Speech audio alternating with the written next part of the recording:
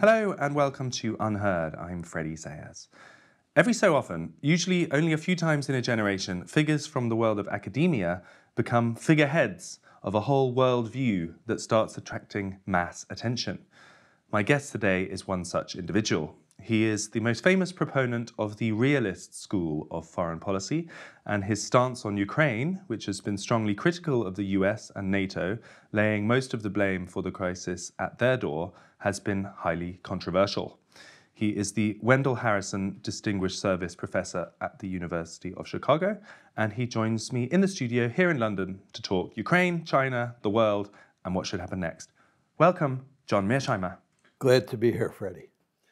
So, the history of how we got to this point at Ukraine um, has been quite well rehearsed, and I know that your lectures on that subject, uh, detailing how you argue missteps by the West forced Russia into some kind of action, have attracted literally tens of millions of views on YouTube. So I don't think we should spend the whole time on that. But uh, for those viewers who might not be familiar, could you just sort of lay out for us as succinctly as possible what the argument is of how the West forced Russia into this position? My basic argument is that the West, and here I'm talking about the United States, because the United States drives the train, uh, is principally responsible for the Ukraine crisis, which of course is now turned into a war. And the West had a three pronged strategy involving Ukraine, all of which was designed to make that country a Western bulwark on Russia's border. And the three pronged strategy first called for bringing Ukraine into NATO. Second, bringing Ukraine into the European Union. And three, promoting a color revolution, an orange revolution in Ukraine that would turn Ukraine into a pro Western liberal democracy. So it was this three pronged strategy that the Russians, unsurprisingly, viewed as an existential threat. And what's happened since April 2008, when the United States forced NATO to say that Ukraine would become part of NATO is that this situation has gotten worse and worse. Uh, and the crisis first broke out on February 22nd, 2014. And then, of course, we had a war starting on February 24th of 2022. So let's just talk about what we've learned for a moment since February the 24th, 2022. Has anything about the progress of that war, from the original multi pronged invasion of Ukraine by the Russians right through to their gradual retreat to smaller regions within Ukraine, has any part of that surprised you? I think that I uh, have been surprised by the fact that uh, the Russians performed poorly. Uh, you want to remember that the Russians went to war in Georgia uh, in August of 2008.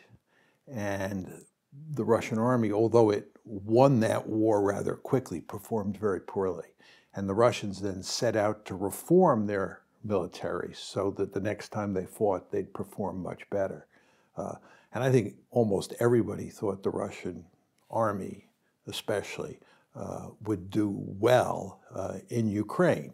And it has not done well. It has struggled. There's no question about that. So I've been surprised by that. Um, and what, what did we learn from that, sort of philosophically, if anything? I mean, is there, uh, there any wider lesson from the underperformance of the Russians, do you think, in terms of how we should treat the next crisis or, or what, what we should have known all along? Well, I think what it shows is you never know how a military will perform until you get into the fight.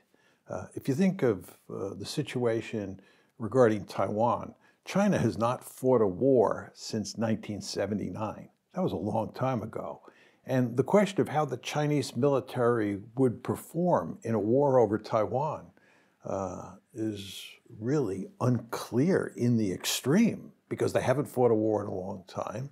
And as we know from this Ukrainian case and the Russian military performance, uh, sometimes you think a military is going to perform very well, and it doesn't. Uh, and vice versa, by the way. So, It just shows you how, how much uncertainty there is when it comes to going to war. In many ways, anytime you go to war, you're rolling the dice. And the Russians, I think, understood they were rolling the dice. I think all the evidence is running up to when the war started that Putin did not want to invade Ukraine. He was working mightily to try to avoid that outcome because I think he understood that it would be very messy. Uh, and of course, it has proved to be very messy. I want to come on to those, the, the, idea of what the Russian end goals are. But let me put a couple of arguments to you, which people have said um, sort of in opposition to your more realist worldview, and see how, what you make of them. Um, one of them is that your whole premise is that the Russians were acting rationally, realistically. They were defending their sphere of influence. It was intolerable for them to have NATO coming so close to their borders, and this was a sort of act of self defense in some way. But if they've shown to be so much weaker than certainly we and perhaps even they realized, were they acting realistically? Is there actually an argument that they've now learned and the world has shown them, the Russian side, that they had an unrealistic estimation of their own power, of their own sphere of influence, and that reality has now adjusted? Well, what I think you have to understand is that when countries think they're facing an existential threat uh, and, and, they become desperate, uh, they're willing to roll the dice. They're willing to pursue incredibly risky strategies. And the best example of this is when Japan attacked the United States at Pearl Harbor uh, on December 7, 1941. It's very important to understand the Japanese understood full well that they were uh, attacking Godzilla. Uh, the United States had 10 times the gross national product that Japan had. It had the capability to build a much more formidable military. And the Japanese had no illusions that they would win the war. They thought there was a sliver of a chance they would win, but they would most likely lose. But nevertheless, they attacked. And the reason they attacked is they were desperate. Uh, the United States was economically strangling Japan at the time, and it was threatening to knock Japan out of the ranks of the great powers. And the Japanese felt they just had to do something. So you want to understand that when great powers are desperate, they are willing to take extreme measures. This, by the way, is one of the reasons we should worry greatly about the Russians using nuclear weapons if the Russians are losing the war in Ukraine. If they're losing the war in Ukraine to NATO and to its Ukrainian allies, they will certainly be in a desperate situation. And when states, great powers especially, are in desperate straits, they tend to use extreme measures to try to rescue the situation.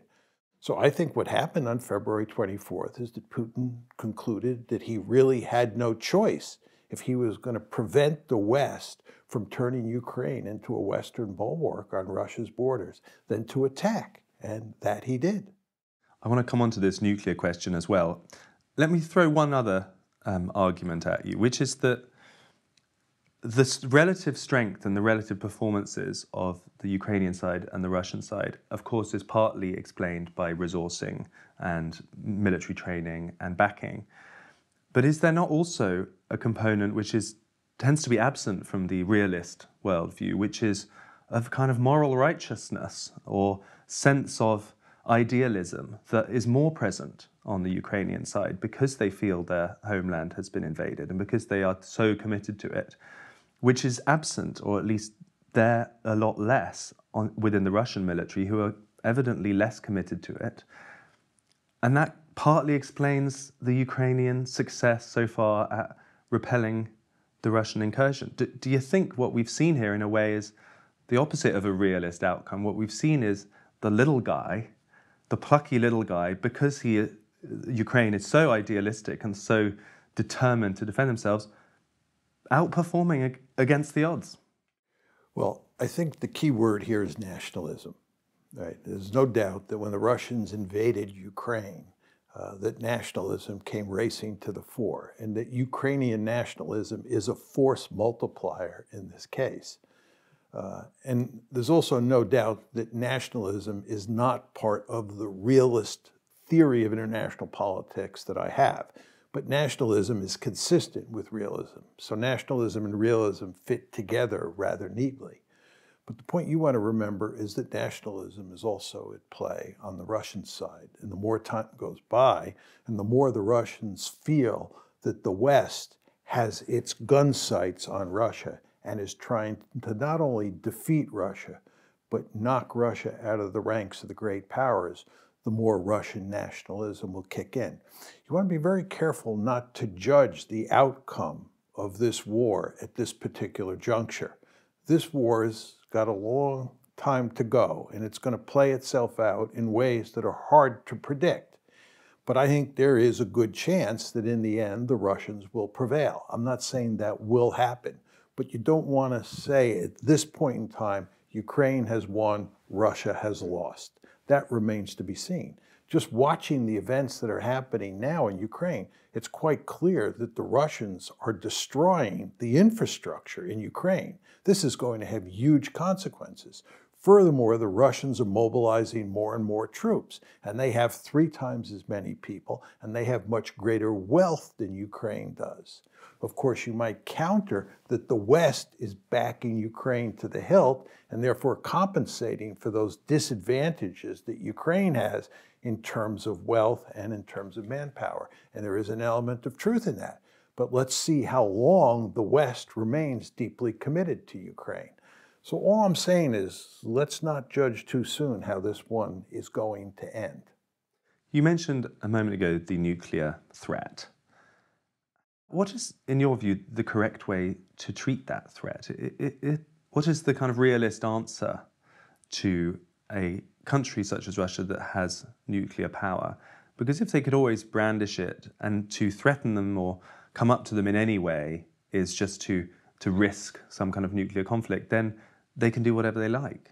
Um, at, at what point do we have to stand up to people even if they do have nuclear weapons? Well, the question is, are you willing to be incinerated uh, to stand up to the Russians over Ukraine and push them to the brink? That's the question you have to ask yourself. Uh, it was the question that John F. Kennedy and his lieutenants had to ask himself during the Cuban Missile Crisis.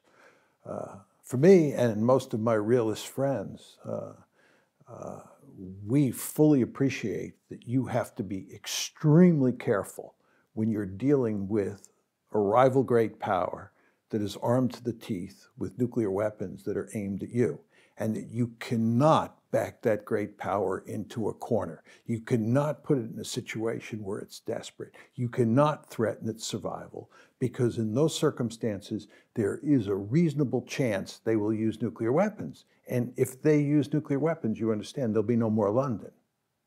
Uh, there'll be no more Europe if we get into a general thermonuclear war. And my principal goal is to avoid that. And what I find quite remarkable at this point in time is how few people seem to understand that danger. There is all sorts of talk in the West about defeating Russia inside Ukraine, wrecking its economy, causing regime change, and maybe even breaking up Russia the way the Soviet Union was broken up. This is a country that has thousands of nuclear weapons. If its survival is threatened, it's likely to use them. So we have this perverse paradox here that most people don't seem to realize, which is that the more successful NATO and Ukraine are against Russia, the more likely it is that the Russians will use nuclear weapons. In circumstances like that, I would go to great lengths to try and work out some sort of arrangement to put an end to this war as quickly as possible. I think what JFK did during the Cuban Missile Crisis was exactly the right thing. Kennedy understood full well that the last thing we needed was a general thermonuclear war between the United States and the Soviet Union. Where's JFK today? I can't find him. And I find instead all sorts of people in the West, in the public, talking about public intellectuals, commentators, journalists, and so forth and so on, and even foreign policymakers talking in rather cavalier ways about defeating the Russians. I think this is foolish. So you talked about you and your realist friends there. what is the line for you then? Uh, uh, clearly, you don't think that the eastern parts, or even perhaps the whole of Ukraine, is of core strategic interest to the United States, or maybe not even to Western Europe. What is of core strategic interest? At what point do you think we would have to resist a Russian aggression? Would that be the Baltic states, for example? And you may well say there's no evidence that Putin has the Baltic states in mind, but let's play the theoretical game. Were he to invade one of those countries, do you think at that point would you support proper, full to the hilt defense?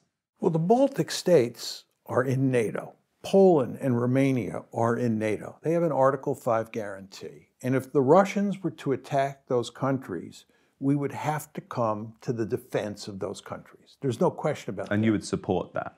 I would support that. Up to and including nuclear war? Well, I'm not talking about using nuclear weapons to defend those countries, right? What you would use are conventional forces. And if you were losing, the basic strategy or the basic doctrine is that you would countenance using nuclear weapons. What I would do in the event is hard to say. But the key point here is defending the Baltic states, defending Poland, defending Romania against a Russian invasion, which is not going to happen, by the way. This is a figment of the West's imagination, right? The Russians can't even win in Ukraine, much less countenance attacking and conquering all those other countries. But let's hypothetically talk about what would happen if Russia attacked those countries. The United States would come to their defense. That's a very different issue than talking about defeating the Russians in a particular country, wrecking their economy, causing regime change, and maybe even breaking Russia up. There is a fine line out there that you don't want to cross. Some people refer to that as a red line. You just want to be very, very careful uh, when you're dealing with a country that has nuclear weapons. That's not to say you don't want to defend yourself if that country attacks you or attacks an important ally. But there are limits to how far you can go in terms of threatening that nuclear armed adversary. That's my point. On the specifics of Ukraine, then, what should we have done, do you think? I mean, if we, if we consign to the history books all the events that led us up to February the 24th, 2022, at the point of the invasion, whatever the rights and wrongs of what had happened prior to that, what do you think a wise response by the West would have been? Well, first of all, in April 2008, when NATO said Ukraine would become part of NATO, uh, and the Russians made it clear that that was an existential threat and that was unacceptable to them, we should have backed off right then. Should have done nothing more. Then the crisis broke out on February 22nd, 2014. We should have recognized the severity of the situation and we should have backed off and worked with the Russians to create some sort of uh, modus vivendi where uh, uh, the Russians felt that they weren't threatened by NATO in Ukraine and that Ukraine could remain a neutral state. But instead, what we did was we doubled down, okay? Then, over the course of 2021, right, uh, the situation deteriorated, right? And on December 17th, 2021, the Russians sent a letter to NATO and to President Biden demanding that they get in writing that Ukraine would not become part of NATO. What we should have done then is backed off and tried to work out some sort of uh, modus vivendi where the Russians were satisfied with the situation in Ukraine, right? And the threat of war was taken off the table. Instead, we told the Russians, nothing is going to change. We are going to bring Ukraine into NATO. And we were working very hard to do that, despite the conventional wisdom in the West, which says we were not. We were working to bring Ukraine into NATO. So, but, what options are available in this post-conflict period or, or mid-conflict period? what are the realistic options now? There are no think? realistic options. We're screwed. I mean, what does that mean practically, though, we're screwed? It means you believe the conflict is now destined to escalate or just destined to grind on? Well, both. It's destined to grind on, uh, and both sides will continue to escalate. They have been escalating. They have been escalating. Uh, and where it all leads is very hard to say. Th- there's no deal on the table that can be worked out here. There's all this talk about the need for diplomacy.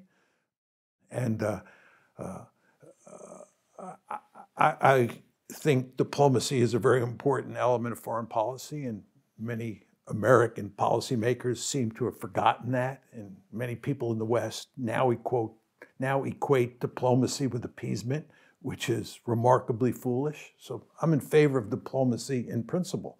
But the question you have to ask yourself in this particular case is if you do diplomacy, can you work out a deal? And my opinion is there's no deal to be worked out, and both sides are going to fight this one out. Why? If, if John Mearsheimer is by some miracle appointed Secretary of State and you are in charge of negotiating a peace settlement, why can there not be some deal? I mean, the, the Russians are clearly suffering. They're losing a lot of um, soldiers. It's costing them dearly. They probably would like there to be some settlement that didn't look too humiliating. Is there not still something along the lines of, I don't know, neutral zones or administered regions, some guarantee not to join NATO by Ukraine, even if though the Zelensky government would definitely not endorse that at the moment, is there not still, in theory, a peace deal to be done? Not really. Uh, I mean, uh, I mean, there are two big issues here. One is neutral Ukraine, uh, and then the other issue is the territorial one. Uh, the Russians have now annexed four oblasts in Ukraine. Uh, this is a big chunk of Ukrainian territory. The Russians now believe that that territory belongs to them. Do you think the Russians are going to be willing to abandon that territory uh, in addition to Crimea? I don't think that's happening. I think the Russians have no intention of abandoning that territory, certainly not all of it. The Ukrainians, for their part, insist on getting that territory back. And the Americans would not be willing to concede that territory to the Russians because it would appear to be a defeat for the West. The United States and its allies are in this one to win. Right? We are deeply committed. For us to back off and give the Russians any major concessions is just unacceptable at this point. That's the territorial issue. Then there's the question of whether or not Ukraine is neutral. The Russians insist that Ukraine has to be neutral. The Ukrainians are now saying we're willing to be neutral, but we need a guarantee for our security from someone. Well, the only someone that can guarantee Ukrainian security is really NATO, and specifically the United States. Well, if the United States. China? That's not in the cards. The Chinese are not going to guarantee uh, Ukraine's uh, security. That's just too far fetched. And furthermore, they don't have the military capability to do it. It's the United States and its European allies, right? But then Ukraine is a de facto member of NATO, and that's unacceptable to the Russians. So there's no way you're going to get a truly neutral Ukraine that's not affiliated with the West. It's not going to happen. And the Russians are not going to accept that. So, what the Russians are going to do instead is they're going to create, if they can, a dysfunctional rump state. And that's what they're doing now. That's why they've taken all that territory, number one. And number two, that's why they're wrecking Ukraine. What's quite frightening about what you're saying is that actually, if there is no deal to be done, and the logic is that the conflict will just carry on and eventually more doubling down will more happen. escalation. More escalation. It seems from what you're saying that you think we are headed towards some kind of escalated conflict between the west and russia. Whether that's nuclear or not it, it, the logic would seem if neither side finds the current status acceptable and both sides are refusing to concede that a bigger, much more dangerous conflict is inevitable? Inevitable is too strong a word. Likely? Is likely. That, that's correct. But I, I think your description of the present situation is right on the money. And the, the two outcomes that we have to worry greatly about are one, where the Russians use nuclear weapons, right? And two, where the United States comes into the fight or the West comes into the fight, because then you have a great power war. The United States and Russia are actually fighting each other. And as Avril Haines, uh, the director of national intelligence in the United States, told the Senate uh, this past spring, uh, the most likely scenario for the Russians to use nuclear weapons is if NATO comes into the fight. Right? So this is very dangerous. So do you now think that some kind of nuclear event is likely? Likely is too strong a word. Uh, there's a, the rhetoric I like to use is there's a non-trivial chance uh, that nuclear weapons will be used here. And let me tell you why I think that's the case. Uh, if the Russians were to use nuclear weapons, the most likely scenario is that they would use them in Ukraine.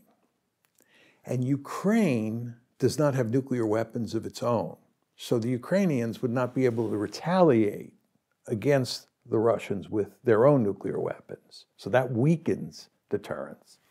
Furthermore, if the Russians use nuclear weapons in Ukraine, the West, and here we're talking mainly about the United States, is not going to retaliate with nuclear weapons against Russia because that would lead to a general thermonuclear war. So the Is that certain? Pardon? Is it certain that if the so you think if if Putin detonated an actual nuclear bomb within Ukraine, there would be no retaliation by the West? No, there would be no nuclear retaliation. Macron has said that, by the way. We would not retaliate with nuclear weapons.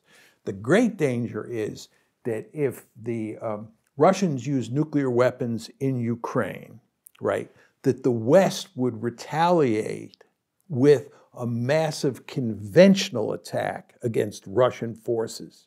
David Petraeus, General Petraeus, has said that if the Russians attack with nuclear weapons inside Ukraine, we should take our conventional forces, NATO's conventional forces, and slam Russian conventional forces inside of Ukraine and Russian naval forces in the Black Sea. If we were to do that, we would then have a great power war. NATO would be at war against Russia. And as Avril Haines, the director of national intelligence, said, that is likely to lead to a nuclear war because the Russians would not be able to stand up to the Americans and their allies. So, what would you be advising in the very unhappy event that Russia does launch some kind of nuclear strike within Ukraine? What do you think the wise response is? The wise the response, and I think the likely response, is we would go to great lengths to immediately shut down the conflict. I think the use of nuclear weapons is what would shut down the conflict. It's the only possibility. I'm not saying that would axiomatically happen, but the, it, it would become so clear at that point in time uh, that we were uh, uh, in danger of, of creating uh, uh, a nuclear war between the superpowers, that we would go to great lengths to shut it down. That would focus the mind in ways that are hard to imagine in the current context. I mean, that's a, it's a risk that we hope we don't need to take. But we're actually making it more and more likely. It's very important to understand that the more successful that NATO and the Ukrainians are at defeating the Russians inside of Ukraine and wrecking the Russian economy, the more successful we are, the more likely it is that they will use nuclear weapons. And again, you do not want to underestimate what great powers will do when they're desperate. I just give you another example to highlight that. In the, in the summer, late summer of 1945, the United States had defeated Japan. Japan was finished in the summer of 1945. And the United States was unable to get the Japanese to surrender. And we felt that there was a serious possibility we would have to invade the Japanese home islands with amphibious forces.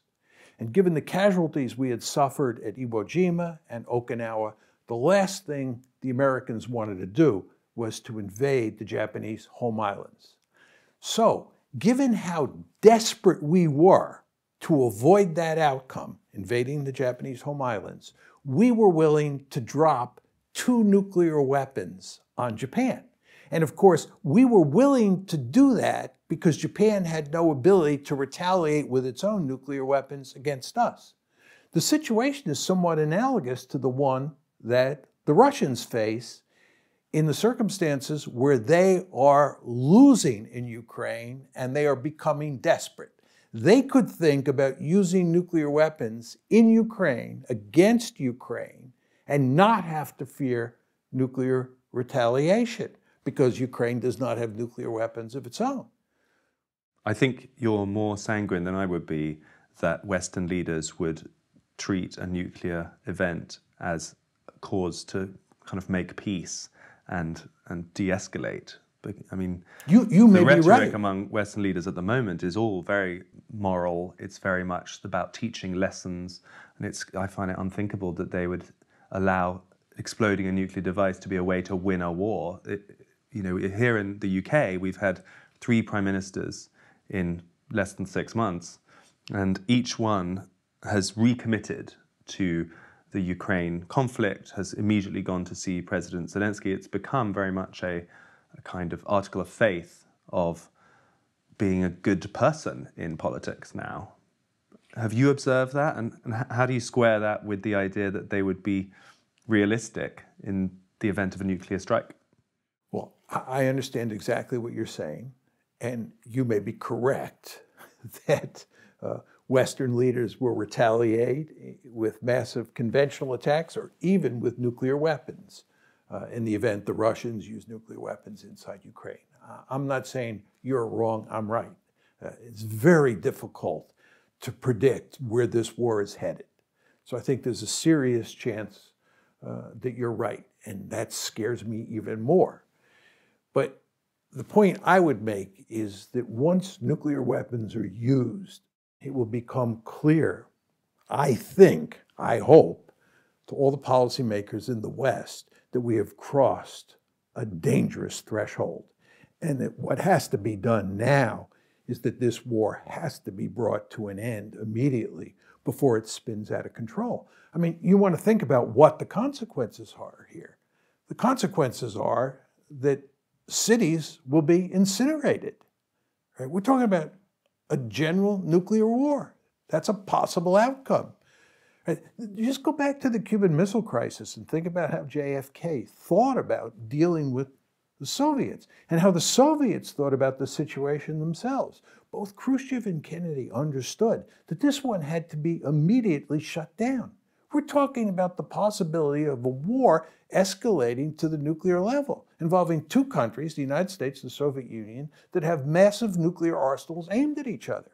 Both leaders understood full well this conflict had to be shut down immediately.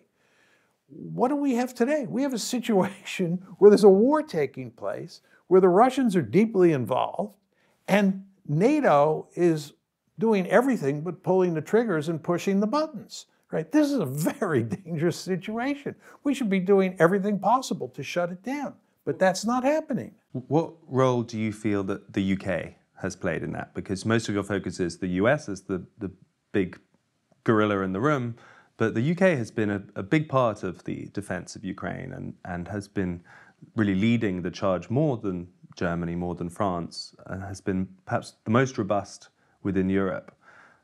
Do you have any comment on the, the UK response? I think it's been the most robust within Western Europe. In Eastern Europe, you have the Poles and the Baltic states, which have been every bit as enthusiastic about this war as the British have been.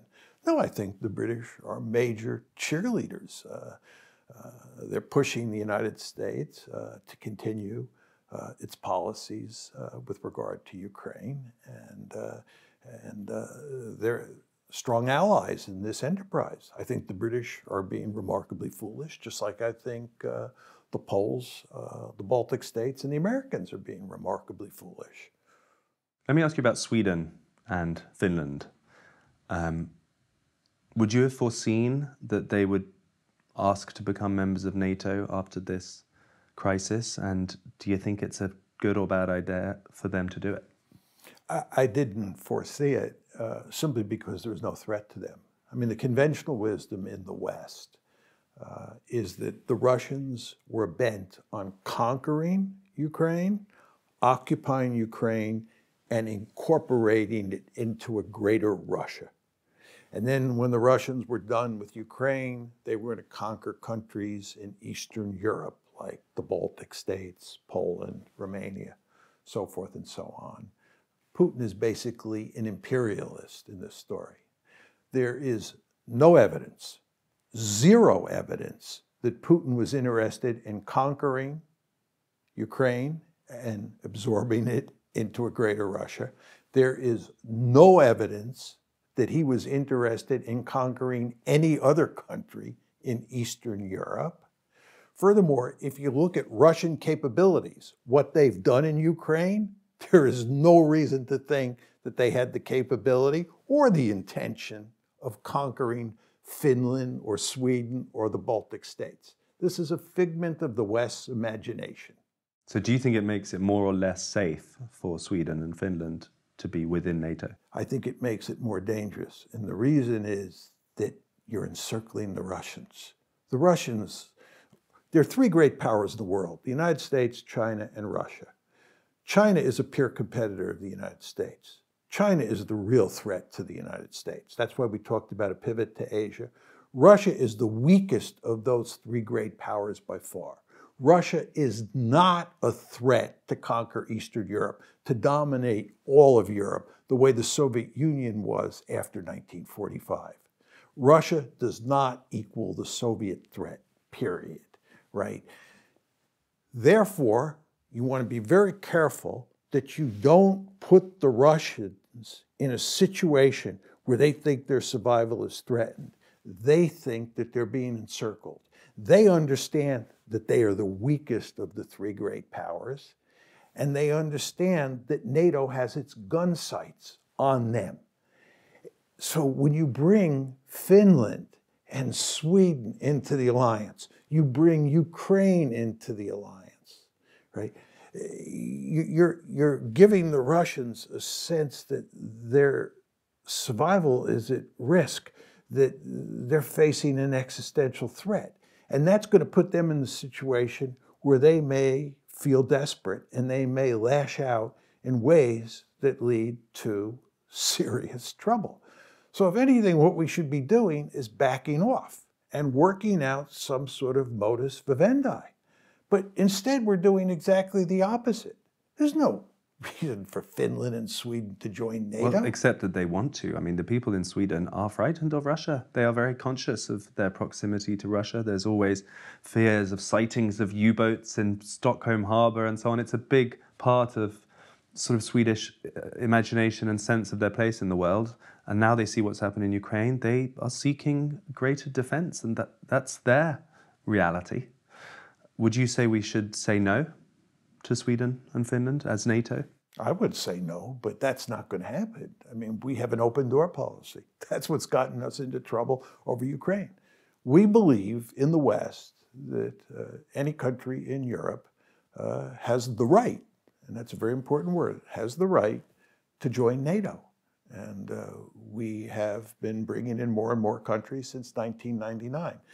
Uh, the first big tranche, of course, was in 99. The second big tranche was in 2004. It's when the Baltic states, Romania, uh, Bulgaria, uh, Slovenia, and a handful of other countries came in. Uh, and then in 2008, that's when we began to talk about the third big tranche. That's when Georgia and Ukraine were going to come in, right? And we haven't given up on that. And at the same time, now we're talking about bringing Finland and Sweden in. You know, the Americans have the Monroe Doctrine. I don't know what you know about the Monroe Doctrine, but the Monroe Doctrine basically says the Western Hemisphere is our backyard. And no distant great power, which means no great power from Europe or from Asia, is allowed to put military forces in the Western Hemisphere. No great power from Europe or Asia is allowed to form a military alliance with another country in the Western Hemisphere. Because from the, from the American perspective, it's intolerable to have a distant great power on our doorstep. Well, the same basic logic applies to the Russians and to the Chinese, by the way. From a Russian perspective, the idea that you're going to have NATO right on your doorstep, and NATO is bringing in more and more countries that are part of this alliance, is going to be unacceptable to them. The Russians couldn't stop NATO from expanding in 99. They couldn't stop it in 2004 because they were too weak. And you know what happens as a good realist when you're weak in international politics. Other great powers take advantage of you. This is what happened to China in the late 1840s to the late 1940s. The Chinese refer to this as their century of national humiliation. When you're weak, other great powers take advantage of you. This is exactly what the Americans did with the Russians. Russia was weak after the Soviet Union broke apart in 1991, and we took advantage of the Russians. We shoved NATO expansion down their throat in 99. We shoved it down their throat in 2004, and we decided we were going to shove it down their throat again after 2008 because they, we thought they were too weak to prevent it, right? But the fact is, the Russians viewed this eventually as an existential threat. The idea of Ukraine in NATO was the brightest of all red lines for the Russians. And you see what is happening now. And if you think about the Monroe Doctrine, you should not be surprised how the Russians are reacting to what's going on in Ukraine. I have two very quick questions finally for you on Ukraine, and then I'd love to talk about China for a moment. The first is in the scenario that the West is currently talking about, which is what they say a good end goal looks like, which is essentially Russian retreat, some kind of non escalation, uh, humiliation of some kind which Russia accepts. Maybe there's a treaty, maybe there isn't, but in other words, an ending that doesn't lead to an escalation, doesn't lead to nuclear conflict, and ends with a weakened Russia with a bloody nose sort of retreating to try and look after internal divisions and sort itself out. If that happens, will you then stand up and say, I was wrong? The West strategy, from a realist point of view, has been successful. Of course. I want to be very clear here. I'm not arguing I have the truth, that I am right, and there is absolutely no chance that this war won't end the way you just described. International politics operates in a world of what I would call radical uncertainty. It's very hard to figure out uh, what the future looks like. It's very hard to make predictions. And that's why when people say, how likely is it that Russia would use nuclear weapons? And some people will say there's a 30% chance or a 50% chance. There's no way you can put precise numbers on the likelihood of nuclear use. You just can't do it. We don't have enough data, right, to come up with precise predictions like that. So I think, having said all that, that there is a possibility that the Russians will cave at some point. I think there's a small possibility. I also think there's a non trivial chance that this will lead to nuclear war. And when you marry the consequences of nuclear war with the possibility, in my mind, that means you should be remarkably cautious. And let me illustrate this by uh, this analogy. If I have a gun and the barrel has 100 chambers, okay? And I put five bullets in that barrel. And I say to you, Freddie, I'm going to pull the trigger. I'm going to put the gun up to your head and I'm going to pull the trigger. But don't worry. There's only Russian a five roulette. Yeah, there's only a 5% chance that I will kill you. It's only a 5% chance. Or let's assume I put one bullet in and I tell you, Freddie, there's only a 1% chance I'm going to kill you. And then I spin the barrel and I get ready to pull the trigger. The question you have to ask yourself is you, are, are you going to be nervous? Are you going to be scared stiff? And the answer is you're going to be scared stiff, even if there's only one bullet, and certainly if there's five bullets, right? So there's a small probability that you will be killed. But given the consequences, you're killed, you're scared. The consequences here involve nuclear war. So there only has to be a small probability that John is right. There can be an 80% probability that Freddie is right and the Russians. Let's say the West is right. Yeah, that the West is right. And that the Russians will back off and surrender. Let's, right? It's in your view, it's still not worth the risk, is what you're saying. Of course not. And this is what Kennedy and Khrushchev understood during the Cuban Missile Crisis. You can only push a great power armed with nuclear weapons so far. This bothers many people in the West. They think they should be free to do whatever they want to the Russians. We should be free to wreck the Russians' uh, economy, make them pay a god awful price for what they have done. You can't do that because they have nuclear weapons. You might not like that, but it's a fact of life that they have nuclear weapons and the threat of nuclear war is ever present. My final question on Ukraine before we move on. In a sense, it takes us back to the beginning, which is that moment on February the 24th when Russia invaded Ukraine from the north towards Kiev, from the south, up from Crimea, from the east, was shocking and stunning to many observers. A lot of your realist colleagues said it wouldn't happen. Um, there was a sense that this was a, an, an, act so far beyond what we considered to be acceptable on the, the European continent that the response had to be appropriate. And then you say things like there is zero evidence that Russia wanted to conquer Ukraine. How do you square those? I mean, most people observing that moment felt pretty confident that Russia wanted to conquer Ukraine. Why are they wrong? Well, there's no evidence that Russia was interested in conquering Ukraine, number one. Number two, they did not try. Is, is invading it from all corners and headed towards the capital not the signs and pretty good real life evidence of someone who wants to conquer a country. No. Isn't that how you do it? No, you can't conquer a country with 100, the size of Ukraine with 190,000 troops.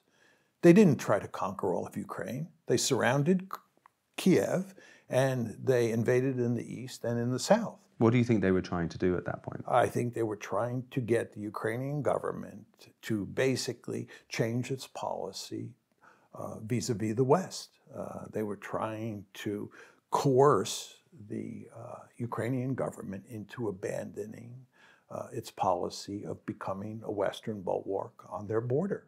Do you think they were hoping that the government would flee and fall in some way and they could work out some more friendly puppet government? I, I don't know for sure. I think that uh, there's evidence they, they were negotiating shortly after the invasion. This is after the invasion they were negotiating in Istanbul with the Ukrainians.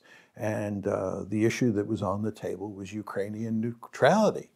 Uh, and it's quite clear that uh, what happened is that the United States, uh, operating through Boris Johnson, made it clear to the Ukrainians that uh, we didn't want them to cut a deal with the Russians because by late March, we were quite confident that uh, we could beat the Russians uh, in, in, Ukraine. And the idea of cutting a deal, especially a deal that involved a neutral Ukraine, which is anathema to the West, uh, was unacceptable to us. So you, you, you maintain now still that there was no, there was no even hope for a kind of quick fall of the Ukrainian government and some kind of easy win. Had, the, the, Russians were not even hoping for a, a full conquering of that country? It's very important to separate the different issues out here. The Russians invaded Ukraine with 190,000 troops at the very most. They made no effort to conquer all of Ukraine. They didn't even come close. There is no way they could have conquered Ukraine with 190,000 troops. And they didn't have the troops in reserve to do that. When the Germans invaded Poland in 1939, they invaded with 1.5 million troops. That's the size army you need to conquer a country like Ukraine, occupy it, and then incorporate it into a greater Russia. You need a massive army. This was a limited aim strategy. This was not a strategy that was designed to conquer Ukraine. I mean, it's very hard to make that argument in the West at this point in time because the propaganda, which says that Russia was intent on conquering all of Ukraine and absorbing it into a greater Russia, is so pervasive. But anybody who knows anything about military operations knows that you couldn't conquer and absorb Ukraine with 190,000 troops. And so that issue has to be clearly established. What they wanted, what the Russians have said they have wanted from the beginning, is a neutral Ukraine. And if they can't get a neutral Ukraine, what they're going to do is create a dysfunctional rump state. And there's no evidence that you're going to get a neutral Ukraine. And what the Russians are doing is creating a dysfunctional rump state, right? They've taken a huge swath of territory in the east, these four oblasts. They've annexed those uh, oblasts, said they're now part of Russia. And at the same time, they're destroying uh, uh, U- Ukrainian infrastructure. They're wrecking the Ukrainian economy. It's sickening to see what's happening to Ukraine. And I want to make one final point on this. My argument is that if NATO had not expanded or tried to expand into Ukraine, if we in the West had not tried to make Ukraine a Western bulwark on Russia's borders, then today Ukraine would be intact. There'd be no war and Ukraine would be fine. There was no war in Ukraine before 2008. There was no problem of Russia conquering Ukraine before 2008, even before 2014. Vladimir Putin came to power in the year 2000. The crisis broke out on February 22, 2014. Over those 14 years, nobody in the West was making the argument that Vladimir Putin was an imperialist and that he was bent on conquering Ukraine and then conquering other countries in Eastern Europe and creating a greater Russia? Who was making that argument? That was an argument that we invented after February 22nd, 2014. We in the West, we invented the argument that he's an imperialist, that he's bent on conquering Ukraine. Why did we invent that argument? Because a major crisis broke out on February 22nd, 2014, and we were not going to blame ourselves, we had to blame him. So the story that we created was that he was an imperialist and he is responsible. And we are the good guys and they are the bad guys. Let's turn our attention eastward towards what is not yet a crisis, but many people think might be a crisis on the horizon uh, around Taiwan and China. Learning what we've learned from this conflict, what would you like to see the West's approach to that issue be? Well, I have a fundamentally different view on China than I do on Russia. Uh, and therefore, my thinking about Taiwan is different than my thinking about Ukraine. Uh, I believe that China is a peer competitor of the United States uh, and that it is a threat to dominate Asia the way the United States dominates the Western Hemisphere. And the United States does not tolerate uh, other regional hegemons. We're a regional hegemon in the Western Hemisphere. And over time, we have gone to great lengths to prevent countries like Imperial Germany, Imperial Japan, Nazi Germany, and the Soviet Union from dominating either Europe or Asia. From an American point of view, that's unacceptable. And I think that's correct. I think the United States should not want China to dominate Asia the way we dominate the Western Hemisphere. So we're going to go to great lengths to contain China.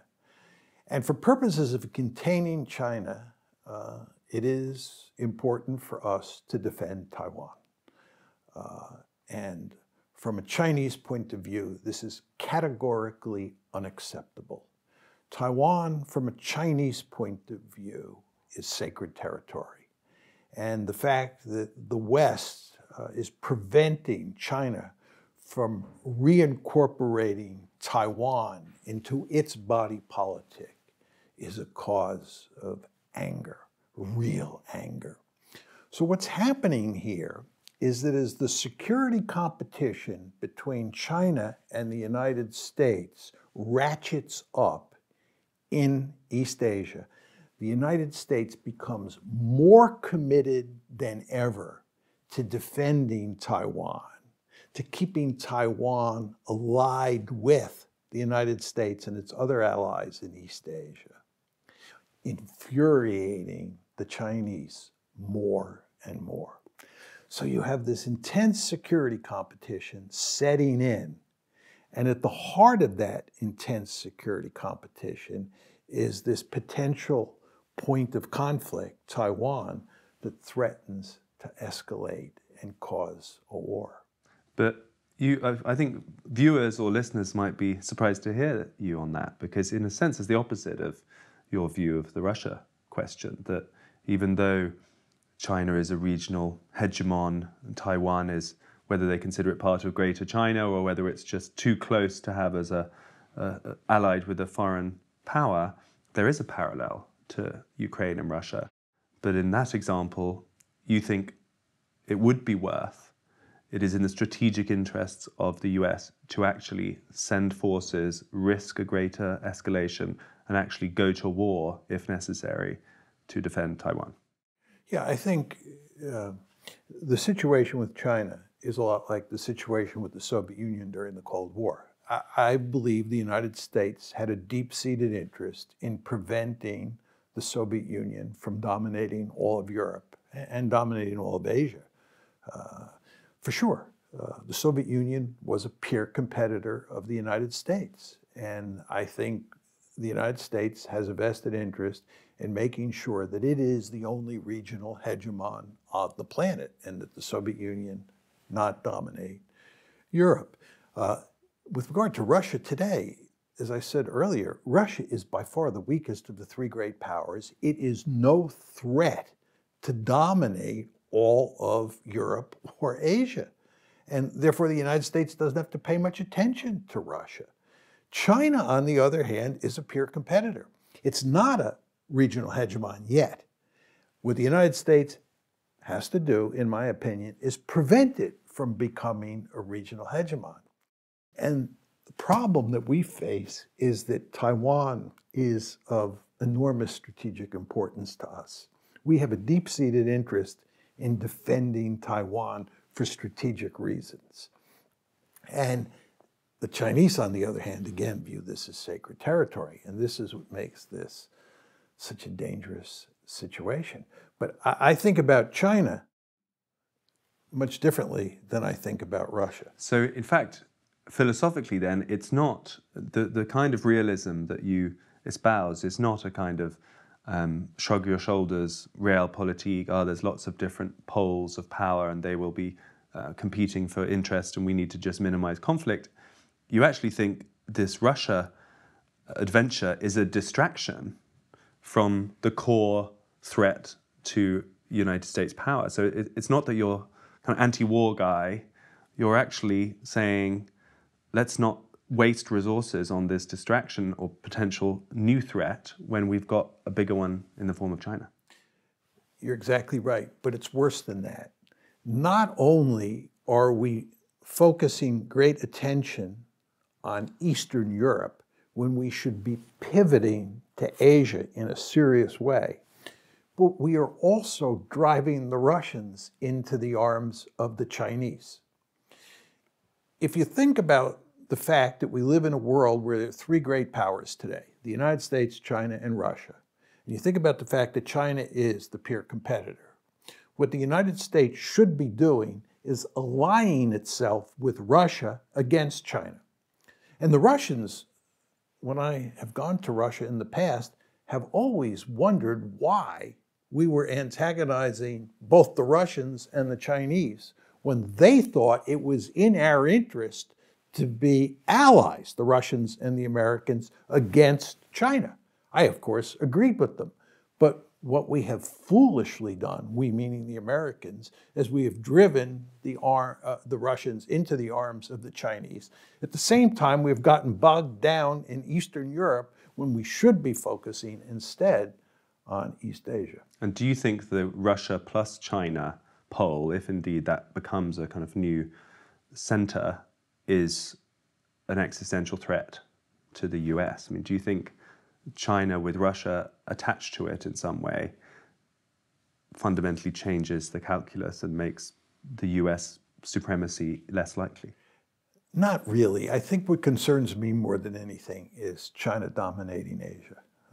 I think my great fear is that if China continues to grow economically and it dominates in the development of cutting edge technologies, uh, that it will become at least as powerful, if not more powerful, than the United States, will end up dominating Asia, and will cause the United States all sorts of problems around the globe. Do you think the US will realize some of this in time? And do you think there's a chance that that kind of pivot of attention happens anyway, and that the sort of level of commitment to the situation in Eastern Europe dwindles over time? As more voices are becoming anxious about China. Do you think that's a, a likely outcome? I argued before February 24th that that was a likely outcome. Uh, I'm not sure I believe that anymore, to be honest. Uh, the United States is now so deeply committed uh, to the war in Ukraine that it's hard to see it backing off anytime soon. And there's another dimension to this that links the China threat with the Russia threat. Uh, if the United States were to lose uh, the war in Ukraine, if the Russians were to prevail, uh, it would be a devastating defeat for America's reputation. And this would have consequences, in all likelihood, in East Asia. It's hard to say what those consequences would be. But the Chinese would see that the Americans lost against Russia, uh, which is far weaker relative to the United States than China is relative to the United States. And there's a possibility that that would cause us uh, real trouble uh, in East Asia. So uh, the reputational costs of losing uh, in Ukraine make it likely that we will stay till the bitter end. Uh, this, getting back to our earlier discussion, is one of the reasons I think it's going to be so difficult to shut this war down. One of the reasons it's hard to see what a diplomatic solution to the Ukraine war is. Because you want to remember any meaningful diplomatic solution that the Russians accept will appear to be a Russian victory to people in the West and to people in Ukraine. And the, and the perception of a Russian victory has, again, reputational consequences in East Asia. You recently visited Hungary. Mm. Um, I, I, read a recent interview where someone brought this up and you weren't so keen to talk about it. Um, am I okay to ask you about oh, it? Oh, sure. Um, why, why did you go to Hungary? You spent some time with Viktor Orban there. Why did you go and, and what did you learn? Well, my last book, uh, The Great Delusion, uh, has been translated into Hungarian. And I was invited to Hungary by the publisher to, uh, uh to talk about uh, the book. Uh, and so I agreed to do that. And then before I went, I got a note from the publisher that said that that Viktor Orban uh, would like to talk to me. Would I be willing to talk to him? And I said, Of course, I'd be willing to talk to him. So I went to Hungary. Uh, I gave a public lecture on the book. Uh, I did uh, another event on the book. And then I met with all sorts of people, uh, including Viktor Orban, the prime minister, and the president of Hungary. Uh, and other policymakers uh, when what, I was there. What did you learn? Was what were the it was actually quite interesting uh, to be there. Uh, I, just to go to Viktor Orban for a second, I was very interested in talking to him for two reasons. One, I was interested in hearing his views on Ukraine uh, and how he thinks about Ukraine and how his views compare to the views of other European leaders and where he thought this was all headed. Uh, but I was also very interested in talking to him about nationalism and liberalism, the relationship between those two isms. This is one of the central themes in uh, my book, The Great Delusion, and it's a subject I plan to write more on. And what I have in common with Orban is he thinks nationalism is a very important force, obviously, and I agree with him. But where I disagree with him is I think that liberalism is a very powerful force and it's all for the good. He, on the other hand, detests liberalism. So what he sees is liberalism and nationalism as polar opposites. And he favors nationalism and wants to crush liberalism. I, on the other hand, see nationalism and liberalism as two ideologies that differ in important ways, but nevertheless can coexist. And I live in liberal America. Nationalism is alive and well in the United States, and liberalism is alive and well in the United States. So I think those two isms can coexist. He thinks they're polar opposites. So I was very interested in exploring that issue with him. And then finally, I was interested in just sort of figuring out, uh, when I went to Hungary, where Europe is headed. Because if you look at what's happened in Europe over the past decade or so, you see lots of evidence that illiberal democracies are beginning to come to the fore. There's a lot of such as in Hungary, such as in Hungary, such as in Poland. Mm. Uh, if you look at the recent vote in Sweden, the recent vote in Italy, and so you want to sort of understand where Europe is headed. I think this is a very important issue. And, um, and I think that, you know, talking to someone like Viktor Orban for three hours is very enlightening about all these different subjects. On Ukraine, was he, because he sort of seems to have shifted somewhat on Ukraine. In, in, in the beginning, I think people were surprised how strongly he, he rejected the Russian incursion, and, and there was just absolutely unambiguous opposition to it. And he now seems to have evolved into positioning himself more as a kind of potential deal maker with Russia. Is, is that fair, do you think? Well, I think, yes. I, I think in the beginning, he, he, was very nervous about the possibility of Russian expansion into Hungary. Given Hungary's experience with the Soviet Union during the Cold War, you can understand why the Hungarians, and indeed every country in Eastern Europe, right, uh, was initially very nervous about uh, the Russian attack into Ukraine on February 24th. But my sense is, and this is just my sense, is that he quickly understood that the Russians were not going to conquer all of Ukraine. They were not going to conquer Hungary and that this war was going to end up doing great damage to Hungary and, and to Europe in general. Uh, and I think he's correct on that. So, point. does he see himself as a potential peacemaker? Was there any talk of what a, a deal might look like? No. Uh, I, I, had no sense that he saw himself as a potential uh, deal maker uh, or that he knew uh, exactly what might work uh, he, he may think there is a diplomatic solution. I don't think there is a diplomatic solution. I think it's clear that he is in favor of diplomacy.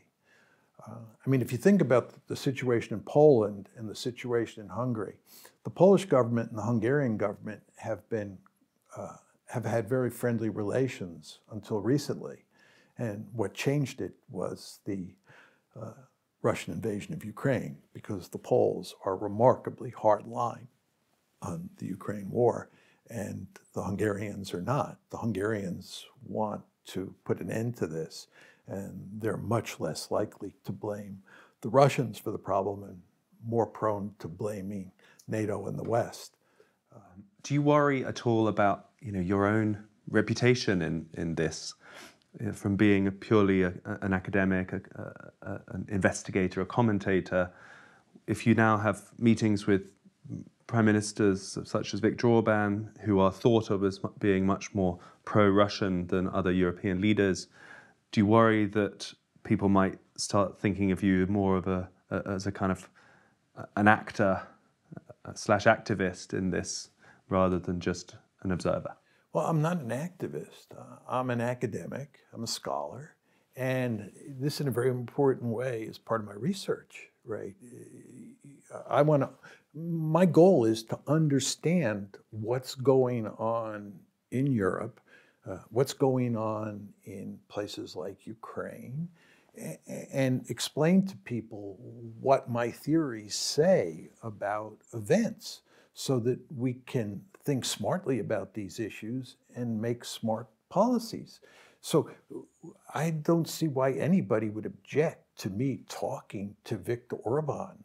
I'm not condoning Viktor Orban's policies or condemning them. I'm simply talking to him to understand what is going on in his mind and what is going on in Hungary and what is going on in Europe more generally. If you're a journalist and you decide that you're going to write a major article uh, for a major newspaper on illiberal democracies, and you have an opportunity to talk to Viktor Orban for three hours, are you as a journalist not going to do that? Of course not. You jump at the opportunity to talk to Viktor Orban because it would make your research and your article that much better. So, as a scholar, an opportunity to talk to Viktor Orban about subjects that are of great importance uh, is it's an opportunity that you should jump at, and I jumped at it. So I talked to all sorts of people. Uh, I have graduate students, two. I have two brilliant graduate students in the past who studied um, the Taliban and who studied ISIS. And both of them, or each of them, talked to the Taliban and ISIS members, respectively. This makes perfect sense. Would you say that those graduate students who are working on the Taliban or working on ISIS shouldn't talk to people in the Taliban, shouldn't talk to people in ISIS? Of course you wouldn't argue that. And the fact that people are trying to sort of smear me because I talk to Viktor Orban is hardly surprising in the context that we now operate in. Because people are really not that interested these days in talking about facts and logic. What they prefer to do is to smear people who they disagree with. So I'm hardly surprised that people, not many people, but a few people went after me for talking to Viktor Orban. But uh, that's the price you pay when you operate in the fast lane in the West uh, at this point in time. Let me ask you to sum up, if we could, here. And we've covered a huge amount of ground, and thank you so much for your time today. If we zoom out, it looks like we are headed towards a much more multipolar world in the coming decades, the coming generation. Um, the era of the sort of so-called end of history era, the era of unipolar American global dominance, the sense that liberal democracies were expanding forever outwards is decisively past or, or on the way out. Do you think this new, more multipolar world is here to stay? And do you think it's a good thing? I think it's definitely here to stay, and I think it's more dangerous uh, than the Cold War was. Let me tell you how I think about this. I was born and raised during the Cold War, and the world was bipolar at that point in time. Then in 1989, with the end of the Cold War, and certainly in December 1991 with the collapse of the Soviet Union, we went from a bipolar world to a unipolar world. Then around 2017, we transitioned from a unipolar world to a multipolar world right? So during the Cold War, you had the United States and the Soviet Union. During the unipolar moment, you just had the sole pole, the United States. And today, you have three great powers, the United States, China, and Russia. Now, you could not have great power politics in the unipolar world because there was only one great power. And by definition, there were, there were no two great powers that could compete with each other. What we have today with the US China competition in East Asia and the US Russia competition, mainly over Ukraine, is we have two conflict dyads and in very important ways, they're separate conflict dyads US China, US Russia. No conflict dyads in the unipolar moment, and one conflict dyad during the Cold War, US Soviet, involving great powers. I would argue that not only do you have two instead of one, each one of those dyads is more dangerous than the conflict dyad in the Cold War. As we've talked about today, the United States and Russia are almost at war in Ukraine, and we can hypothesize plausible scenarios where the United States ends up fighting against Russia in Ukraine. And then we talked about the US China competition and the problems associated with Taiwan. And Taiwan is not the only flashpoint in East Asia. There's also the South China Sea, the East China Sea, and the Korean Peninsula, right? So you can imagine a war breaking out between the United States and China in East Asia, and a war breaking out in Ukraine involving the United States and Russia. I think more easily than you could imagine a war breaking out during uh, the Cold War uh, in Europe or in East Asia involving the United States and, and, the Soviet Union. So I think we live in more dangerous times today than we did during the Cold War, and certainly than we did during the unipolar moment. And I think, if anything, the situation is only going to get worse for reasons that you and I have talked about regarding Ukraine as well as Taiwan. Professor John Mearsheimer, thank you so much for your time today. It was my pleasure. That was Professor John Mearsheimer of the University of Chicago, the now world famous foreign policy realist defending his view that the war in Ukraine is primarily the fault of the US and the West, and giving a pretty bleak forecast of how it might all play out. I tried to push back on occasion, but ultimately, as always, it's up to you to decide if you found his arguments convincing or not. Thanks for tuning in. This was UnHerd.